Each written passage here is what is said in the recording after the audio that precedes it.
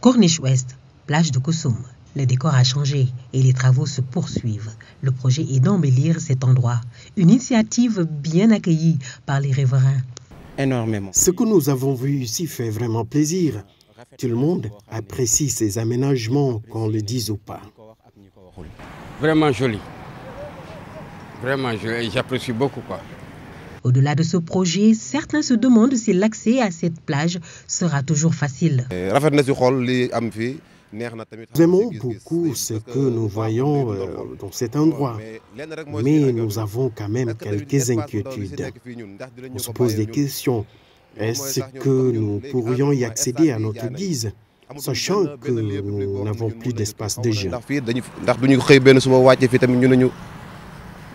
La question de l'entretien suscite déjà beaucoup d'interrogations. Ces riverains espèrent être impliqués dans la gestion de ces installations dans la gestion de ces installations. Comment on va faire pour entretenir ce beau joyau-là? Parce qu'on ne va pas laisser les gens quand même nous bousiller ce truc-là.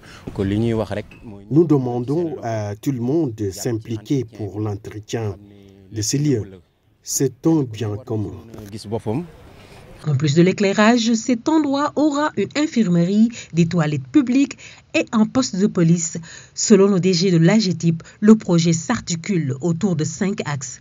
Kosum, Sumbedjoun, Corniche Ouest Université, Corniche Ouest Fan et la Corniche Ouest Wakam, pour un coût estimé à 18 milliards.